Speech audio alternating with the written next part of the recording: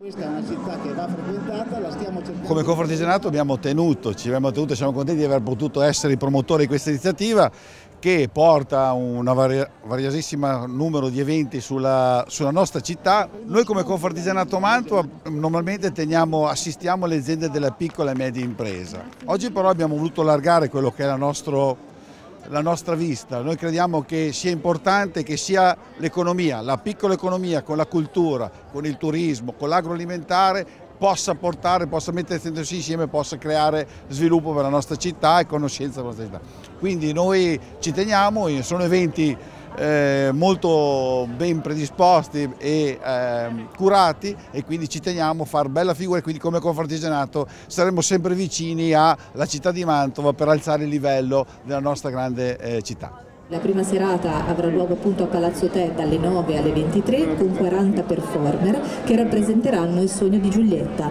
e la sera successiva, il sabato, gli stessi 40 performer il sogno di Romeo. Quindi due grandi performance che vi aspettano.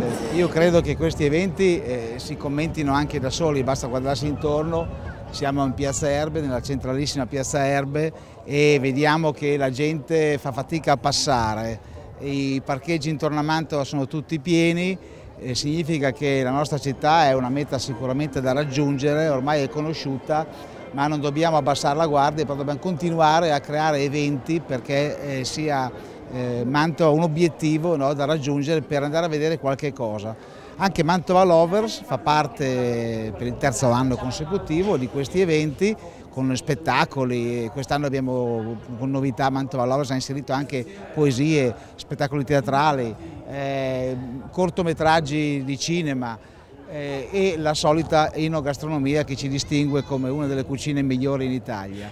Dame e cavalieri ad una festa, come spesso capitava a Palazzo Ducale, erano sempre vestiti d'abiti meravigliosi e la musica risuonava per tutta la sala. Ed ecco il Duca di Mantova. Ecco, bello, vero?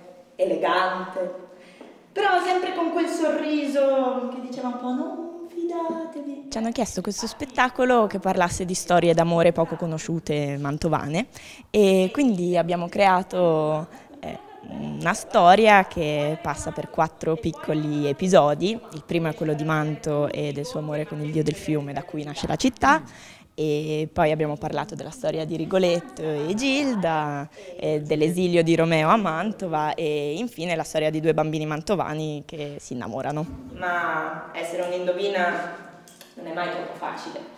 E così un giorno Manto capì che per avere salva la vita doveva abbandonare la sua città. Noi siamo tutte e due mm, nati a Mantova e quindi la prima esperienza di teatro l'abbiamo fatta alla scuola di Ars. Poi ci siamo tutte e due diplomati a Bologna, all'Accademia Galante Garrone e, e, però siamo tornati qui più o meno ad abitare, poi lavoriamo anche un po' in giro, ma è sempre un piacere tornare a collaborare con la scuola da cui siamo usciti.